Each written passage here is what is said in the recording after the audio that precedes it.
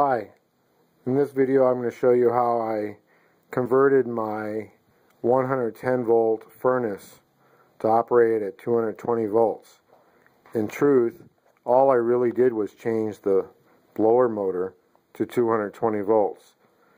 All the rest of the components operated at 110 volts, including the uh, fan for the heater right there, the control board, the transformer for the thermostat, and all the rest of the control mechanisms are actually unchanged. So what I did was simply change the motor, the blower motor, which is in the back there, and its capacitor to 220 volts. Normally they're connected right here where the two yellow wires are on the top left corner of the control board. One is high cool or cool and one is heat. And all I did was remove those wires and inserted a relay between the control board and the motor. So the yellow wires now come down here to two relays, one for cool and one for heat. The relays operate off of 110 volts. The voltage that the control board provides normally would have gone to the motor. Now it goes to the relay. And the other side of the relay contactor goes to 220 volts. So instead of switching 110 to the motor, it now switches 220 to the motor. The black wires are my 220 leg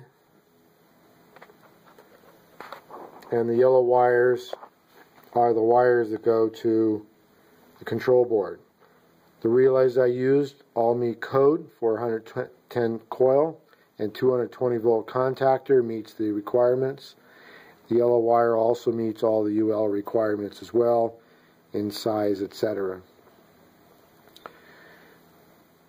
This is the uh, connection box and it's all closed up now but basically I have a four wire 220 volt plug. And the reason why I use four wires because I need both the 220 leg and the neutral white wire to create 110 volts across two of the pins. And then I needed the chassis ground. So I actually need a four wire circuit. And then here's my uh, four wire plug as well. So this job was really quite simple. The really neat thing was the 110 motor 110 volt motor was rated at 14.1 amps. That's a lot of lot of current at 110.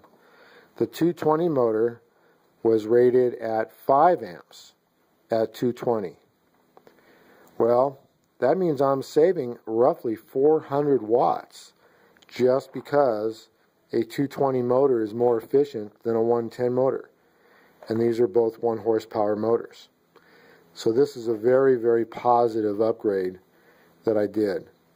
In reality, the reason why I originally thought of doing the upgrade was because I have solar off-grid ability to generate power and I didn't want to put a 14 amp, actually they call for 17 amp draw on one of my legs to offset uh, my inverter. So now I'm splitting the load across the 220 circuit. But the positive part of all this was the efficiency rise of saving 400 watts. Anyway, this was very, very easy to do. Anybody who knows some basic electrical um, things can do it and change the motor out. Have a good one.